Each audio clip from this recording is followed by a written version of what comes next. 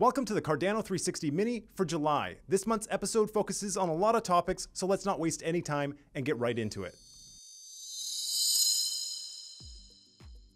At the start of the show, we shared more news about the upcoming Cardano Summit. We want everyone to head over to the registration page, even if you've already registered, and let us know where you're located, because we want to host mini meetups all over the world in the locations you are. But first, we need to know where that is by you guys letting us know. In addition to the main event that's being hosted in Wyoming, there will be a virtual event alongside that, so anyone can attend, whether you attend in person or just go online, the first step is to register. After that announcement about the summit, we went straight into the news about Alonzo. On July 14th, we entered the Alonzo White phase, and the Plutus partners and Catalyst fund winners all gained access to Alonzo White. Alonzo Purple is the next stage following Alonzo White, and that will open up the testnet to the community.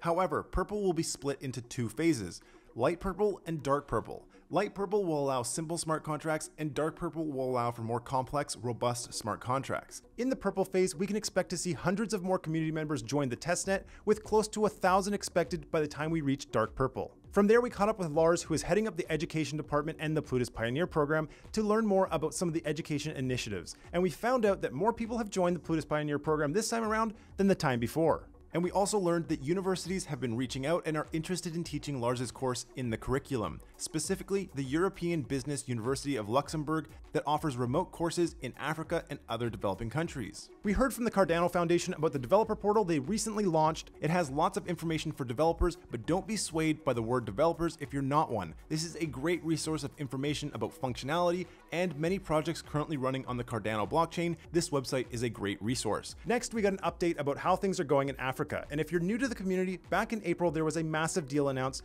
with the Ethiopian government and the Ministry of Education to bring on 5 million users using IOG's Atala Prism digital identity solution to track students' educational performance. They are now selecting which schools will be the first to deploy this technology and plan to have all the selected schools using this technology and the students on the blockchain by the end of the year. And John O'Connor mentioned a Haskell course they would be running in Ghana in January 2022 with the hopes that the course graduates can work locally with entrepreneurs and businesses to grow the community in this region. John also mentioned an upcoming trip with himself and Charles that would take place towards the end of the year across five or six countries across the continent of Africa, and we'll be sure to inform the community more about that as it gets closer. And finally, we saw a quick clip of the discussion between Charles, Micky from World Mobile, and John.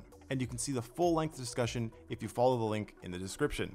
We got an update from community manager Ben and his team about some of the initiatives we can expect to see from them very soon, which are a creative community space where others can meet and discuss ideas, along with Twitter spaces on a weekly basis and a digest for the more technically inclined. After that, we got our monthly Catalyst update with Dor. Things are continuing to grow, and in Fund 5, we increased the number of unique wallets registered to vote by 30% from Fund 4 we now have over 32,000 unique wallets that have registered to vote, with a total of 3.2 billion ADA voting power registered in Catalyst, which is almost 10% of the entire economy participating in our democratic process. Dora also spoke about Catalyst Circle, a leadership on top of Project Catalyst. This gives a human element to the process with a council of community elected members each representing the needs of different parts of the community. There are currently seven representatives part of this council, one for stake pool operators, one for the Cardano Foundation, one for IOG, one for community advisors, one for fund proposals, one for the toolmakers and maintainers, and one representative for general ADA holders. This is a pilot that will run for three months, and a new evolved version of Catalyst Circle will take its place. And the recordings of these meetings will all be made accessible with a backlog of how each problem was addressed. And as for Fund 6, there will be $4 million worth of ADA available, and the duration will be extended this time